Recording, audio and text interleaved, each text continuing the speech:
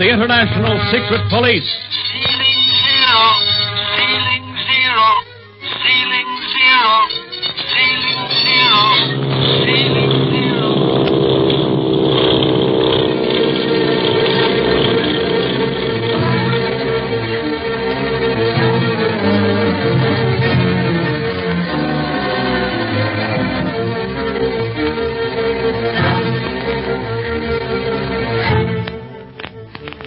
Gibson, his uncle, Clint Barlow, ace operator of the International Secret Police, and Barney Dunlap, also of the police, are flying to Hong Kong, China via the China Clipper to end the smuggling activities of the world's most dreaded criminal, the octopus. At the Honolulu stopover, they become acquainted with Marcia Winfield, governess to little Jean Kingsley, and are startled when she tells them that she took the position so that she could go to China in search of the octopus who has brought tragedy into her life. She asks their protection for the duration of the trip for the little girl's sake. Meanwhile, the octopus has dispatched a renegade aviator, Splinters, in a special bullet plane to await the arrival of the China Clipper at Wake Island, and there kidnap Speed Gibson.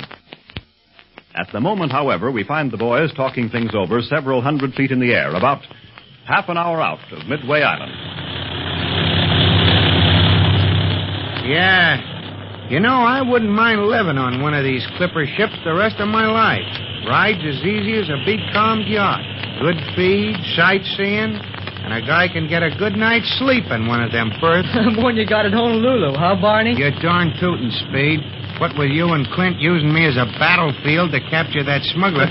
Well, your snoring wasn't any lullaby for us either. Is that so? If I hadn't snored, Speed wouldn't have been awake to see that smuggler when he climbed up to our balcony at the hotel. It's no use, Clint. You can't top Barney. He's the champion alibi Ike of the service. What do you mean, alibi Ike? Well, I won't go into painful details now. After all, I'm just supposed to be Pierre Dorsey, the French tutor to your son here, Earl. And you're Jim Fletcher, the Texas oil man, now remember. How can I forget it with you reminding me every half hour? By the way, where's Miss Winfield and Jane? In Jean? the lounge. Miss Winfield's writing letters. Oh, think I'll see if she needs any help. No, no, you don't, Romeo. You stay right here with us where I can keep an eye on you. Okay, nothing to do, though. Nothing to do.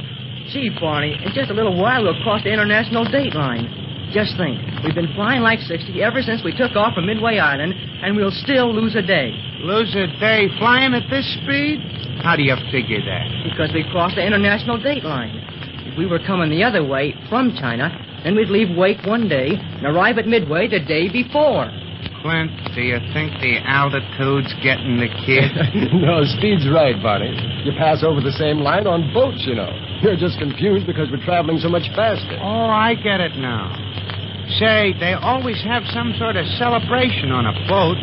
Last time I crossed over the equator, they ducked me and held me under for a whole day.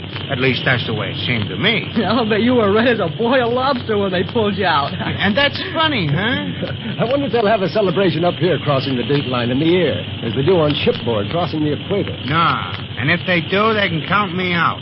For once, I'm going to be the watching audience. Watch it. Here comes one of the stewards. Hmm? Oh, as I was saying, Monsieur Fletcher, the Clipper route is fascinating.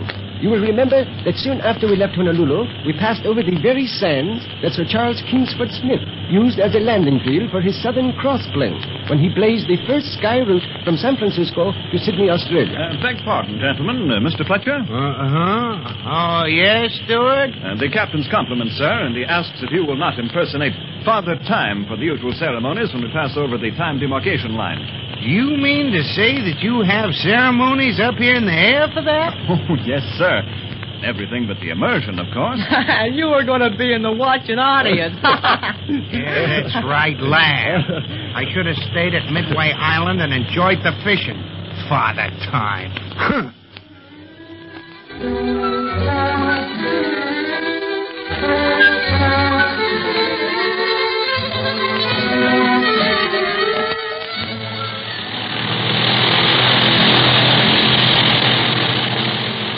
Radio OC34 calling shortwave station OC127.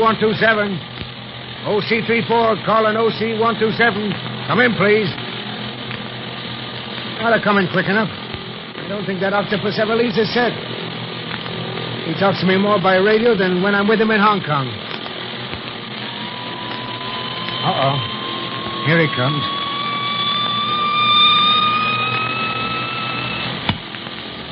OC 127 to OC 34.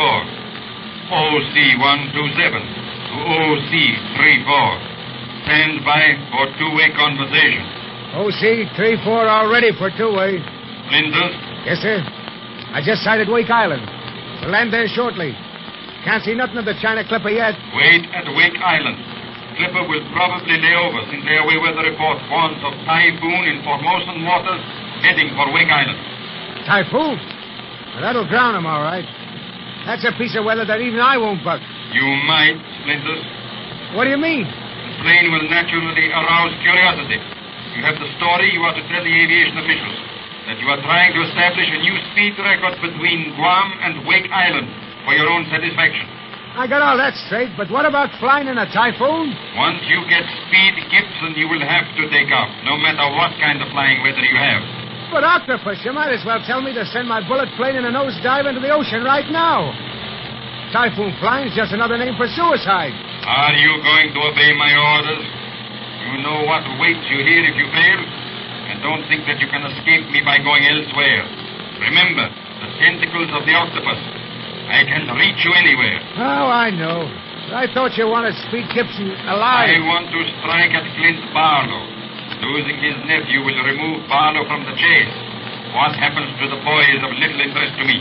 But my life, sir. What I... are you going to do? I'll get Speed Gibson. We'll fly into the typhoon if we must. That is better. You have full instructions.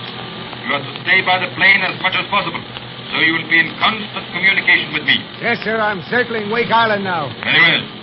Land and tell your story to the officials. And tell it well. Tell it so that they will believe it. Or you will have to answer to me.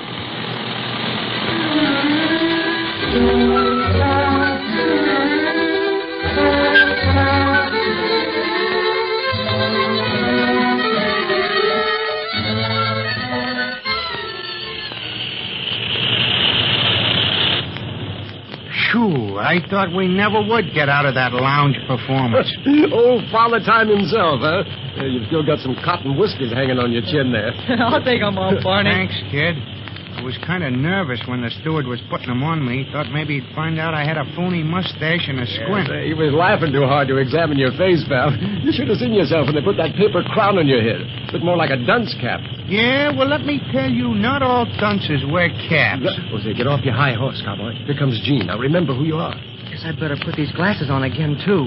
Hello, everybody. Mr. Fletcher, I want to tell you what a wonderful father time you made. I laughed so You much. too, Jean?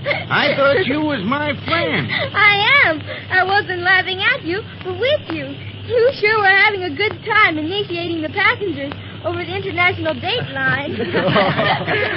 I'll have to admit I got a kick out of it, all right. I'm sure glad to have one of these international date line certificates they give to everyone who flies over the line. Boy, listen to this. The mane of Phoebus Apollo, ruler of the sun and heavens, know all peoples that Earl Fletcher, once earthbound and time laden, is now declared a subject of the realm of the sun and of the heavens, with the freedom of our sacred eagle. That with the speed of our flaming chariot, this subject did fly the Pacific skies over the international dateline, which mortals designed to mark off in the limit of days our eternal course through the skies.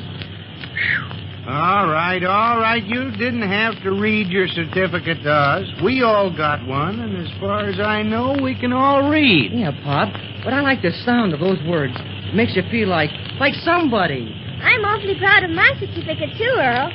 And I like these pictures of the sun, moon, and stars around the edge, and the flaming chariot, and the clipper ship. I love this whole trip, especially the Goonie birds. Mr. Dorsey, you think there'll be any Goonie birds on Wake Island like there was on Midway? Well, uh, very probably, mademoiselle. They're so funny and awkward. I would have liked one for a pet. You'll have a heck of a time keeping a Goonie bird aboard the China Clipper. I got a kick out of those Goonies, but the birds that moaned and groaned gave me the heebie-jeebies. Wonder what they call them. Don't know, Bar. I mean, Pop. But the Clipper captain himself pointed out the terns frigate birds and giant albatross.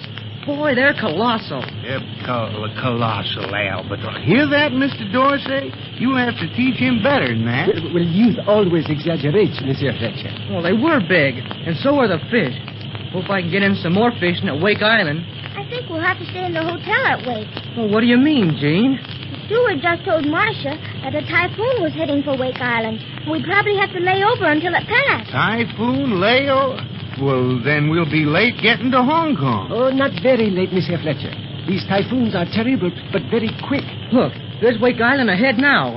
I don't see any signs of a storm anywhere. It's coming from Formosa, he said. The aviation weather reports give a clipper plenty of warning, Earl. They may have a half a day of clear flying weather ahead. But if there is any danger whatsoever of a bad storm crossing their path, they are ordered to remain grounded until all is clear once more. Well, as swell as this clipper plane is to ride in, I'll be glad to walk on land again. Sort of get air legs up here. It Won't be long now. Boy, look at that pretty lagoon we're going to land in. And look, people are coming to the dock to meet us. You can certainly see good, Earl. Let me look through those glasses. Uh, uh no, they're they're too strong for your eyes.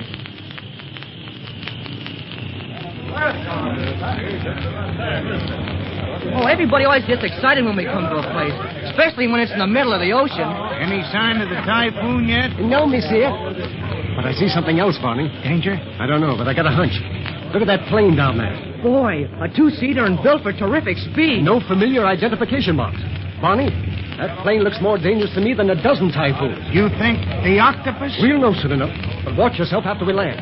Anything can happen way out here in mid-Pacific and be called an accident.